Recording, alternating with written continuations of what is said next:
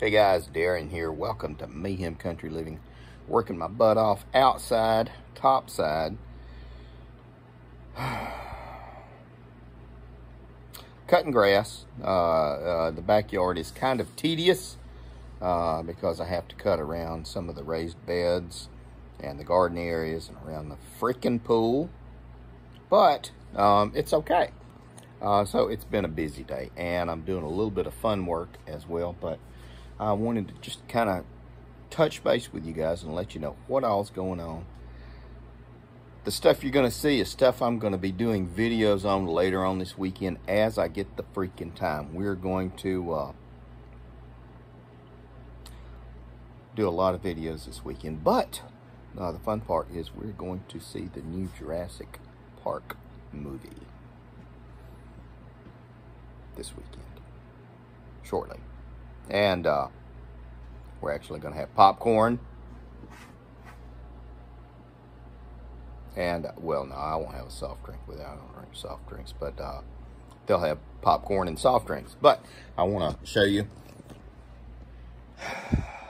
getting the hydroponic system ready and set up. Uh, filled it up yesterday. If you watched any of the uh, videos, the water's warming up. Um, and it is off gassing. Uh, uh, the uh, municipality that does our water uses chlorine, so it will off gas uh, probably by the end of the day, which is pretty good for what I want. There's the pump. I aerate it. There's my stones. Uh, they are disinfecting because you need to do that periodically if you have algae. Let's go upstairs. It's been a day, guys. The good thing I can tell you is I'm wearing pants. There we go. Because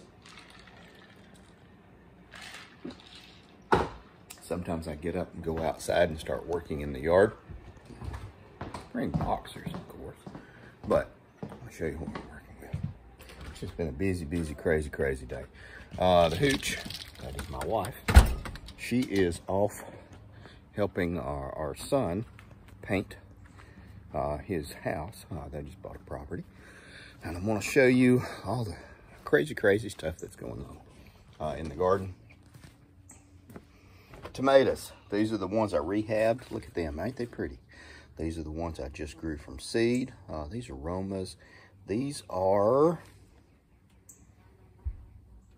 Ah, acorn squash. Good googly moogly. I got to get these plant guys planted. Uh, this is the behind the scenes area you don't see very often. Um, aloe vera, aloe vera, aloe vera, aloe vera. And then we have a bunch of uh, mosquito plants, and then we have uh, purslane, or portulaca, which, hang on, my wife gets pissed whenever I do this. See this right here? I'll show you.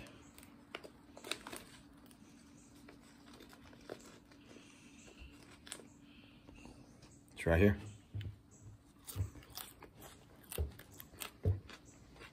So freaking good. You ever had a salad with this stuff? Some dirty rice? Man, it's so good. Highest plant in omega oils that you will find. Man, that stuff's so good. Now, onions. Uh, that's not corn, that's a leek. That's oregano an oregano monster. Um, parsley. It's a lot of parsley. The dill, it's going to seed. I'm getting ready to make some uh, uh, vinegar for my uh, friends and family. Purple basil, it's beautiful. This stuff goes good in salads. Man, it's so freaking good. Rosemary, rosemary my grandson's dartboard that we just put up. We have fun with it. That is the pool from hell. Oh, it's cleared up completely. And all kinds of crap growing in it. Um, garlic, strawberries, onions, geraniums. I wish these things would hurry and flower because uh, I want to show my grandsons. Uh, the uh, rabbit eye blueberries are doing great.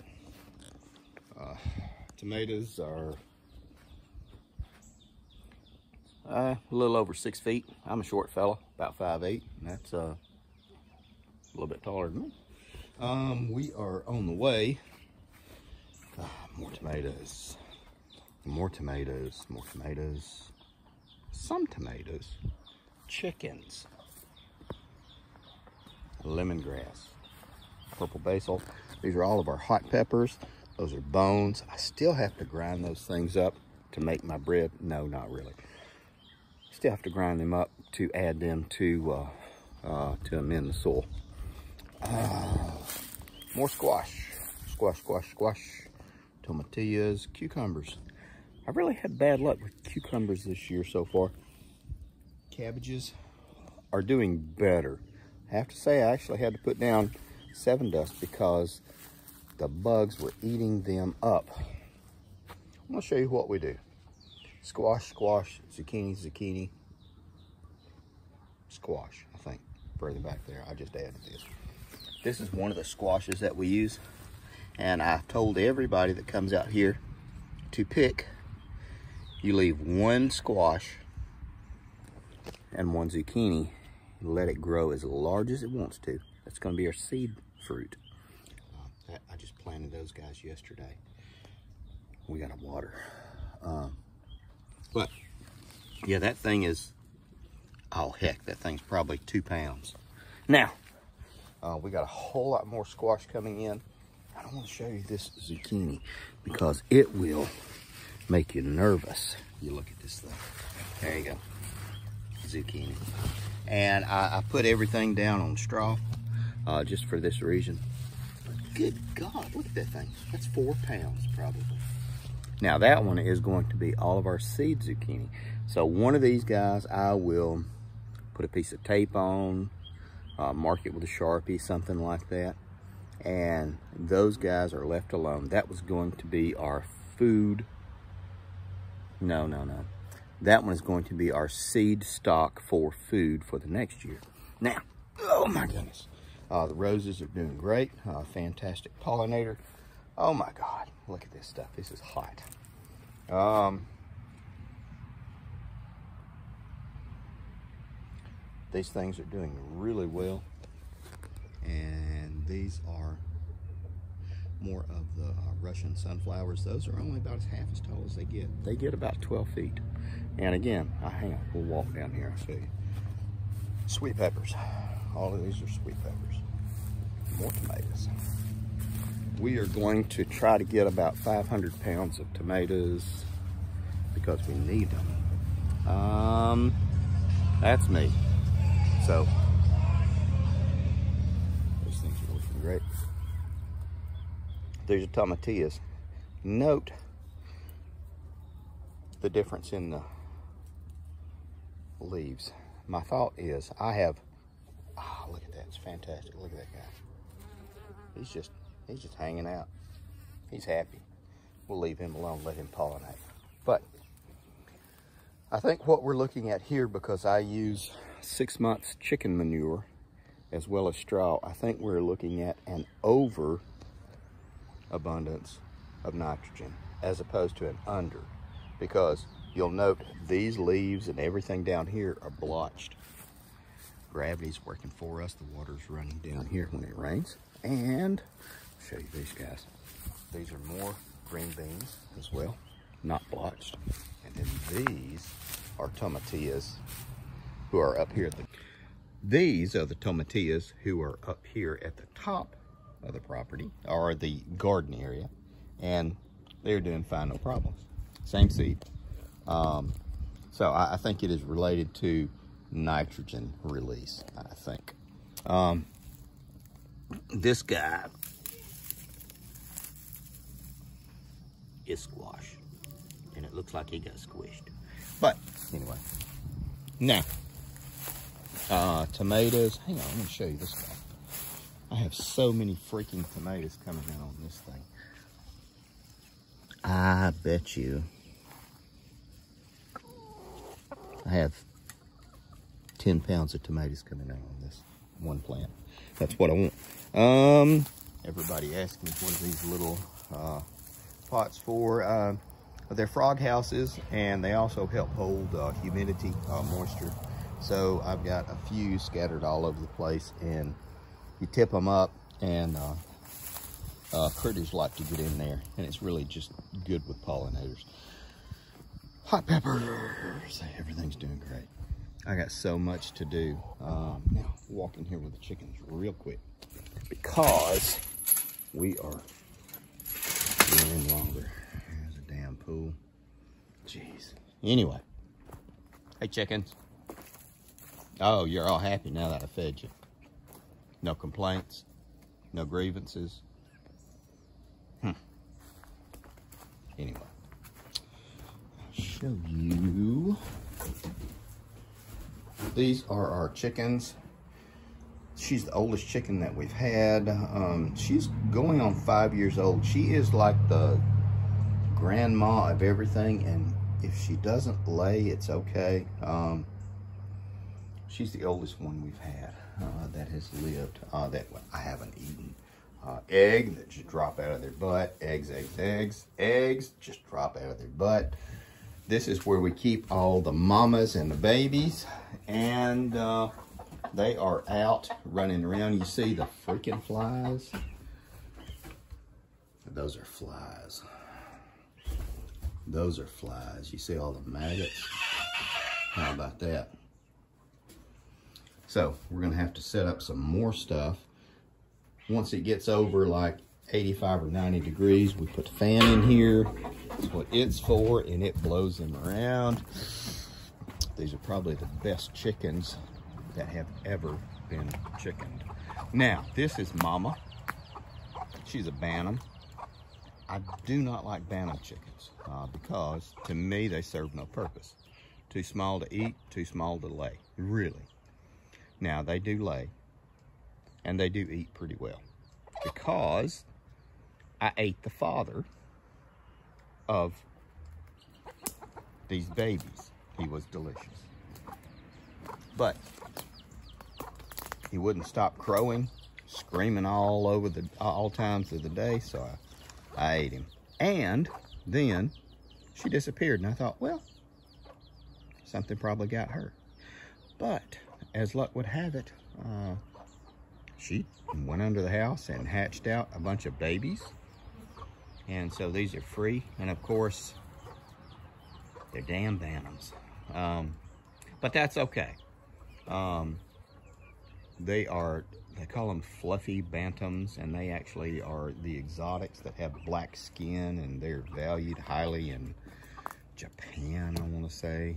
But I just don't care because there's not a whole lot of meat on them. Um, and they lay small eggs. Away she goes.